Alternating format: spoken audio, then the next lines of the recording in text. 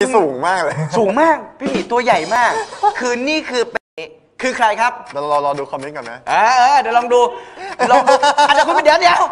แต่คุณมีในใจใช่ไหมคุณอย่าไปลอกคุณผู้ชมน่ะเฮ้ยต้องบอกว่าเงินประมูลนี้เนี่ยก็เหมือนเราได้ทำบุญร่วมกันครับผมก็ได้ช่วยเหลือ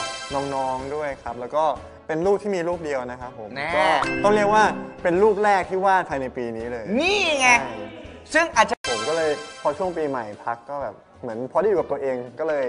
เหมือนแต่งเพลงได้ก็มีเพลงใหม่ขึ้นมาตอนนั้นแต่งเองหมดเลย ก็เลยกลายเป็นเพลงที่เกิดขึ้นในช่วงที่เราต้องอยู่บ้านนี่แหละ ใช่ ไม่ได้เจอกับใครก็อาจจะได้ฟังประมาณช่วงมีนานะครับผมเพลงที่ผมแต่งเองเอ้าในเรื่อง แล้วก็แบบเหมือนพอได้นั่งแล้วแบบได้นึกถึงแบบเรื่องของตัวเอง แล้วก็อืม ได้นึกถึงแบบสิ่งที่เราผ่านมา ครับ ก็เลยแบบมีไอเดียเรื่องเพลงเพลงหนึ่งขึ้นมา ก็รอติดตามนะครับทุกคน